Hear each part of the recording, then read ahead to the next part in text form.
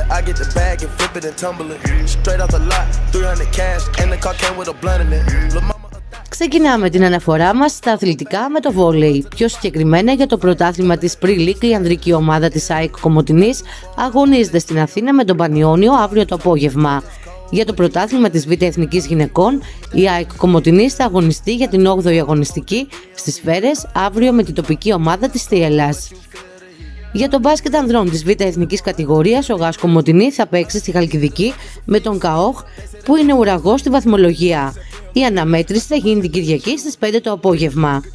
Για το πρωτάθλημα γυναικών της Ακασαμάθ, σε εξαναβολής αγώνα, ο Γάς Κομωτινή υποδέχεται αύριο Σάββατο στις 3 το μεσημέρι τον Εθνικό Αλεξανδρούπολης. Για το πρωτάθλημα ποδοσφαίρου στη Β' Εθνική Κατηγορία Γυναικών, η Ροδόπη 87 Κομωτινής την Κυριακή αγωνίζεται στις Σέρες με την τοπική Πανσεραϊκή. Για το πρωτάθλημα της Α κατηγορίας της Επστράκης θα γίνουν αύριο στις 3.30 τα εξής παιχνίδια. Για την 19η αγωνιστική, Πάο Κοσμίου Αναγέννηση Παγουριών. Δόξα Γρατινής Αναγέννηση Ποντίων Θηλωρίου. Δόξα Προσκυνητών Δόξα Νέου Σιδηροχωρίου.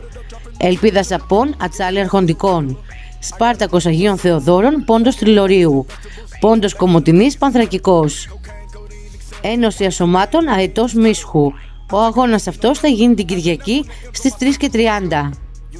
Για το πρωτάθλημα της Β' κατηγορίας της Επστράκης και τη 19η αγωνιστική θα γίνουν οι εξής αγώνες.